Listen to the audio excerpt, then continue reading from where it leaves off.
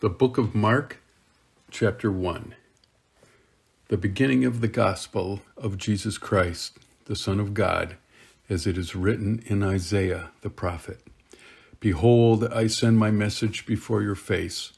Who will prepare your way? The voice of the one crying in the wilderness Prepare the way of the Lord, make his paths straight.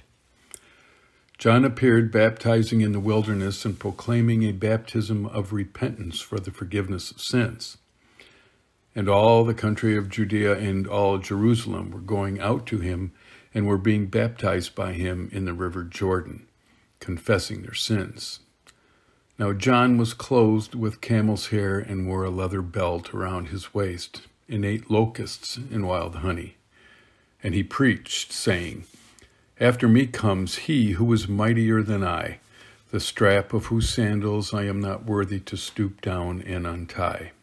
I have baptized you with water, but he will baptize you with the Holy Spirit. In those days, Jesus came from Nazareth of Galilee and was baptized by John in the Jordan. And when he came up out of the water, immediately he saw the heavens being torn open and the Spirit descending on him like a dove. And a voice came from heaven You are my beloved Son, with you I am well pleased. The Spirit immediately drove him out into the wilderness, and he was in the wilderness forty days, being tempted by Satan.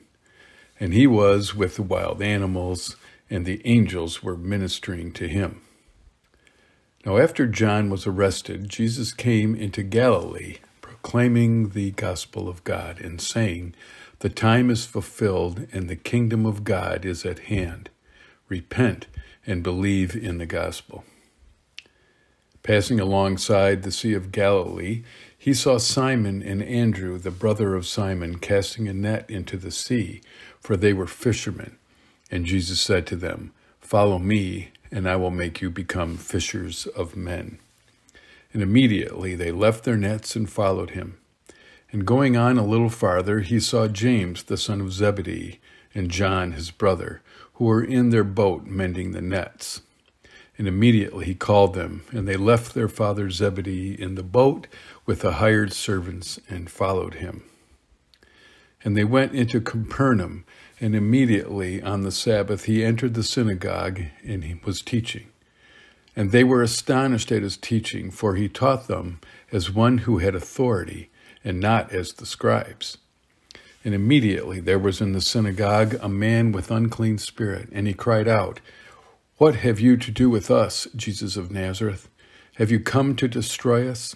I know who you are, the Holy One of God. But Jesus rebuked him, saying, Be silent and come out of him.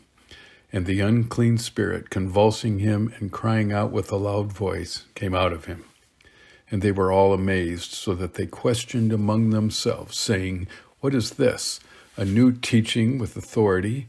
He commands even the unclean spirits, and they obey him. And at once his, frame, his fame spread everywhere throughout all the surrounding region of Galilee. And immediately he left the synagogue and entered the house of Simon and Andrew with James and John. Now Simon's mother in law lay ill with a fever, and immediately they told him about her. And he came and took her by the hand and lifted her up. And the fever left her, and she began to serve them.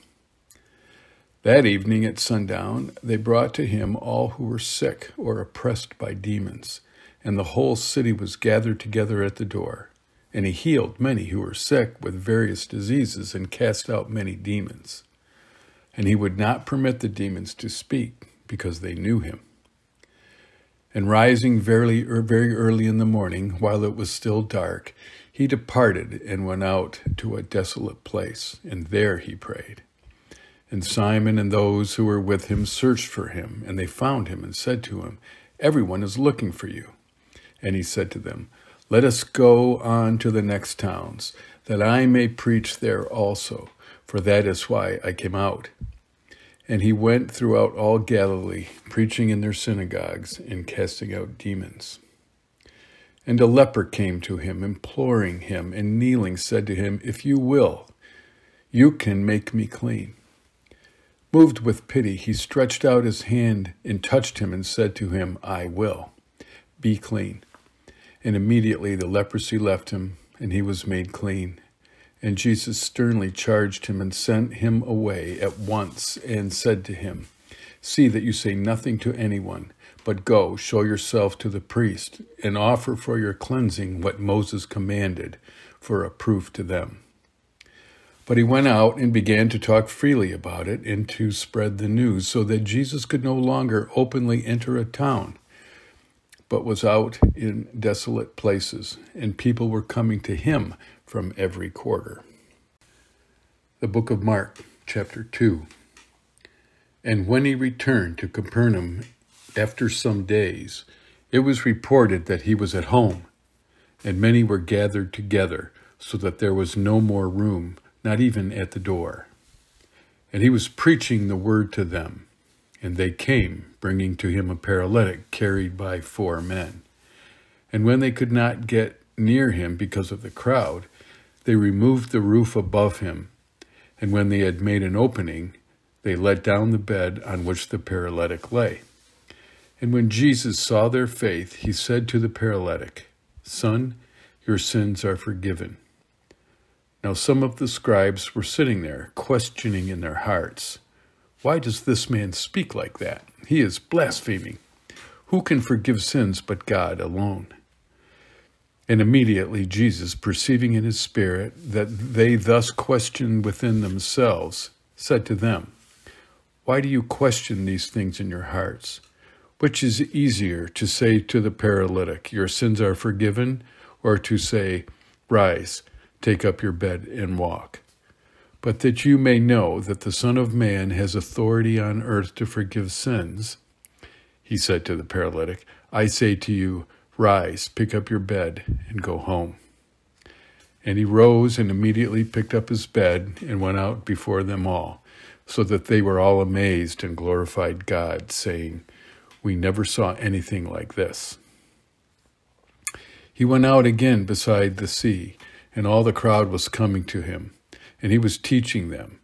And as he passed by, he saw Levi, the son of Alphaeus, sitting at the tax booth and he said to him, Follow me. And he rose and followed him. And as he reclined at table in his house, many tax collectors and sinners were reclining with Jesus and his disciples, for there were many who followed him. And the scribes of the Pharisees, when they saw that he was sitting with sinners and tax collectors, said to his disciples, Why does he eat with tax collectors and sinners? And when Jesus heard it, he said to them, those who are well have no need of a physician, but those who are sick. I came not to call the righteous, but sinners. Now John's disciples and the Pharisees were fasting, and people came and said to him, Why do John's disciples and the disciples of the Pharisees fast, but your disciples do not fast? And Jesus said to them, Can the wedding guests fast while the bridegroom is with them? As long as they have the bridegroom with them, they cannot fast. The days will come when the bridegroom is taken away from them, and then they will fast in that day. No one sews a piece of unshrunk cloth on an old garment. If he does, the patch tears away from it, the new from the old, and a worse tear is made. And no one puts new wine into old wineskins. If he does, the wine will burst the skins, and the wine is destroyed and so are the skins. But new wine is for fresh wineskins. One Sabbath he was going through the grain fields, and as they made their way, his disciples began to pluck heads of grain. And the Pharisees were saying to him, Look, why are they doing what is not lawful on the Sabbath? And he said to them, Have you never read what David did when he was in need and was hungry, he and those who were with him, how he entered the house of God in the time of Abiathar the high priest, and ate the bread of the presence, which is not lawful for any but the priest to eat, and also gave it to those who were with him. And he said to them, The Sabbath was made for man, not man for the Sabbath. So the Son of Man is Lord even of the Sabbath. The book of Mark, chapter 3. Again, he entered the synagogue, and a man was there with a withered hand. And they watched Jesus to see whether he would heal him on the Sabbath, so that they might accuse him. And he said to the man with the withered hand, Come here. And he said to them, Is it lawful on the Sabbath to do good or to do harm, to save life or to kill? But they were silent, and he looked around at them with anger, grieved at their hardness of heart, and said to the man, Stretch out your hand. He stretched it out, and his hand was restored. The Pharisees went out and immediately held counsel with the Herodians against him, how to destroy him. Jesus withdrew with his disciples to the sea, and a great crowd followed from Galilee and Judea and Jerusalem and Idumea and from beyond the Jordan and from around Tyre and Sidon. When the great crowd heard all that he was doing, they came to him, and he told his disciples to have a boat ready for him because of the crowd, lest they crush him, for he had healed many so that all who had diseases pressed around him to touch him. And whenever the unclean spirits saw him, they fell down before him and cried out, You are the Son of God. And he strictly ordered them not to make him known. And he went up on the mountain and called to him those whom he desired, and they came to him. And he appointed twelve, whom he also named apostles so that they might be with him and he might send them out to preach and have authority to cast out demons. He appointed the twelve Simon, to whom he gave the name Peter, James, the son of Zebedee, and John, the brother of James, to whom he gave the name Boanerges, that is, son of thunder, Andrew, and Philip, and Bartholomew, and Matthew, and Thomas, and James, the son of Alphaeus, and Thaddeus, and Simon the Zealot, and Judas Iscariot, who betrayed him. Then he went home, and the crowd gathered, so that they could not even eat. And when his family heard it, they went out to seize him, for they were saying, He is out of his mind. And the scribes who came down from Jerusalem were saying, He is possessed by Beelzebul, and by the prince of demons he casts out demons. And he called them to him and said to them in parables, How can Satan cast out Satan? If a kingdom is divided against itself, the kingdom cannot stand. And if a house is divided against itself, that house will not be able to stand. And if Satan has risen up against himself and is divided, he cannot stand, but is coming to an end. But no one can enter a strong man's house and plunder his goods unless he first binds the strong man. Then indeed he may plunder his house. Truly I say to you, all sins will be forgiven the children of man, and whatever blasphemies they utter. But whoever blasphemes against the Holy Spirit never has forgiveness, but is guilty of an eternal sin. For they were saying, He has an unclean spirit. And his mother and his brothers came, and standing outside, they sent to him and called him.